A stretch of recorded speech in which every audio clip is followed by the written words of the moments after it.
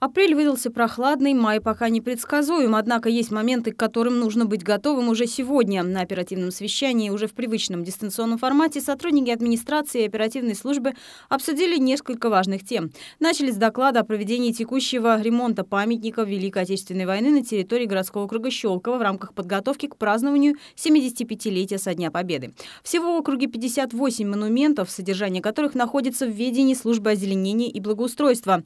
Основные виды работ работ проводится в зависимости от состояния объекта. В основном это покраска, уборка, опиловка растущих рядом деревьев, посадка цветов. Работа на некоторых уже проведена, еще часть памятников и мемориалов в населенных пунктах будет приведена в порядок в ближайшие дни. Об этом сообщила в своем отчете начальник отдела по благоустройству Юлия Горячева. Ведутся работы уже на восьми объектах Монина и семи в. В ходе подготовки к 9 мая в городском округе Щелково приведены в порядок памятники и мемориалы, посвященные победе. В том числе и вот этот. А, посвящен он воинам хлопчатобумажного комбината. Построен в 1968 году, к 23-й годовщине празднования Великой Победы. Глава округа Сергей Горелов поручил работы по ремонту благоустройства территории на мемориалах закончить в ближайшее время.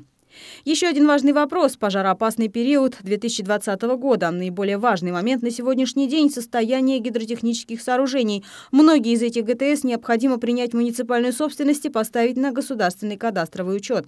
Данная работа очень важна в преддверии лета, особенно учитывая приближающийся пожароопасный период, подчеркнул глава городского округа. Лилия Тимиева, Сергей Максимов, Щелковское телевидение.